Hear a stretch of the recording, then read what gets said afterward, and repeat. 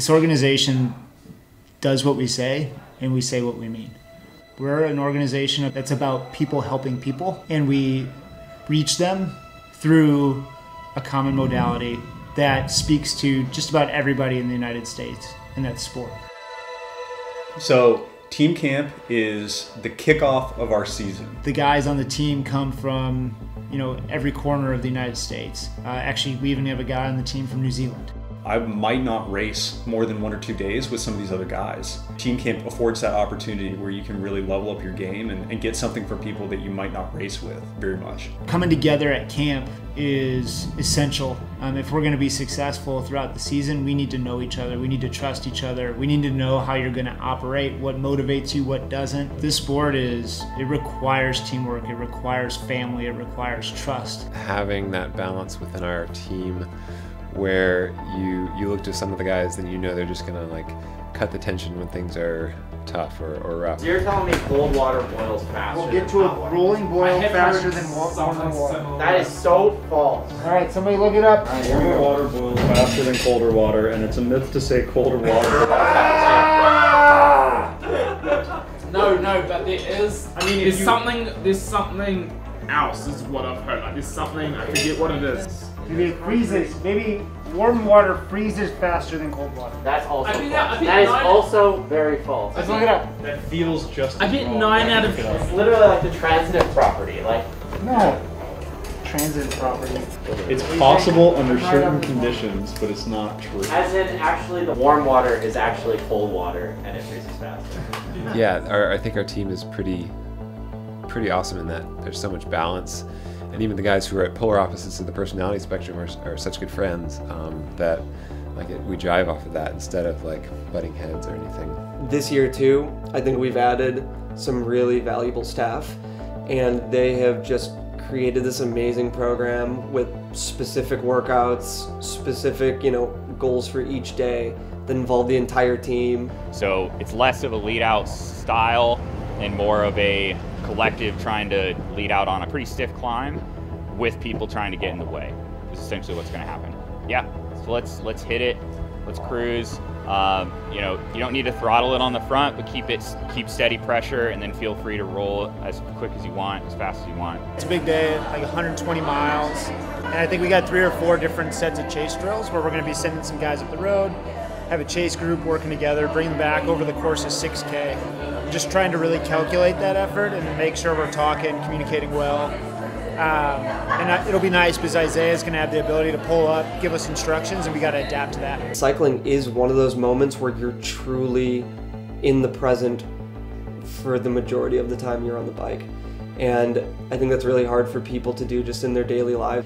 And on the bike, it's like everything slows down and you can really just take account for everything that's going on in your life. And it gives you the opportunity to really reach, I think, deep inside yourself, especially if you're out on a five hour day, you know, you get broken down to a very raw emotional level sometimes. And sometimes that exposes some really hard things, but some really great things at the same time. You know, utilizing cycling as a way to get through trauma or stress has been something that I think all of us have, on one level or another, experienced, which is another part of I think I think our collective purpose and our strength as an organization.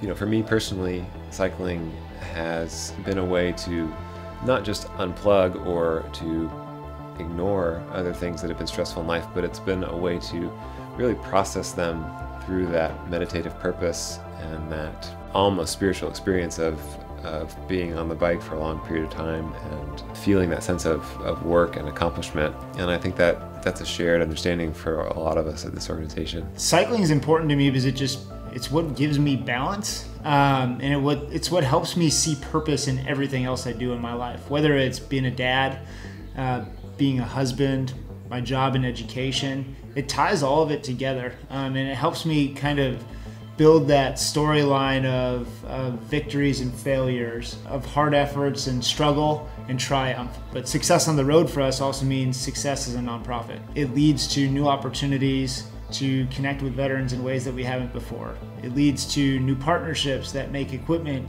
and you know training knowledge and all of these things that serve as barriers to our veteran community. It makes those more accessible. It's what motivates our guys to do the little things the right way. They know people are watching them. They know that they're um, inspiring them. They know that they're empowering them in unique ways. I, I really do think like it gives them just some advantage that they have over the other teams because like those veterans and their responsibility to them and all that sort of stuff is going to be there on Monday whether they had like their best race or their worst race over the weekend.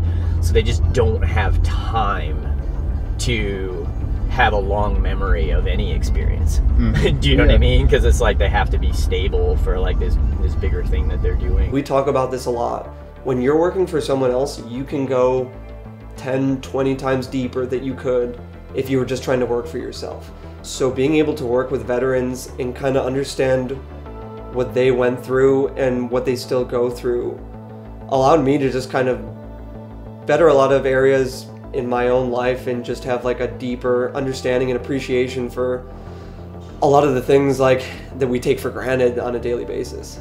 Educate, equip, and empower. I mean, it's those are like three pillars that as the team you just kind of learn and like that fourth bar i think just represents two people from different backgrounds kind of coming together for a similar goal and just really creating like this deep sense of understanding of different perspectives of life.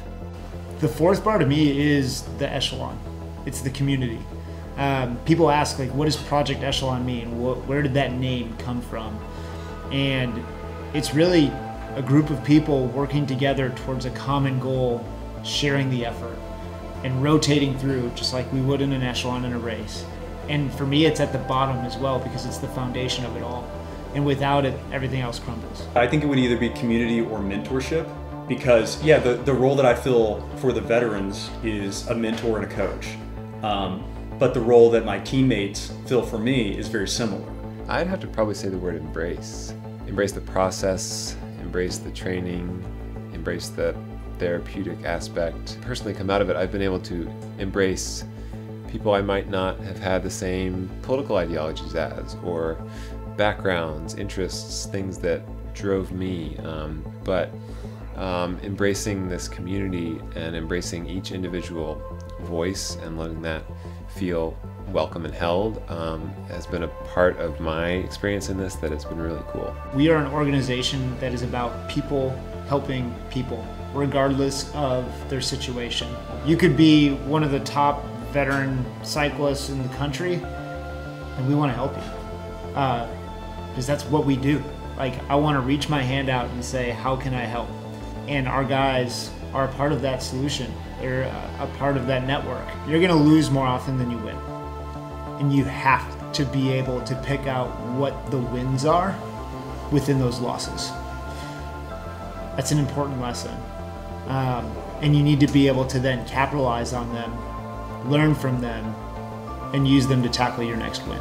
Measuring yourself by the result of a single event is a good way to be disappointed, especially in a sport where so few people win the most often. If you didn't give up and you did the best that you can, you just got beat. You didn't actually lose. You can't be yeah binary where it's either win or lose because um, that's how uh, people have short lifespans within the sport um, because it is so difficult. Without sport, we wouldn't reach the community in the way we, that we need to, and without the community, we wouldn't have a team.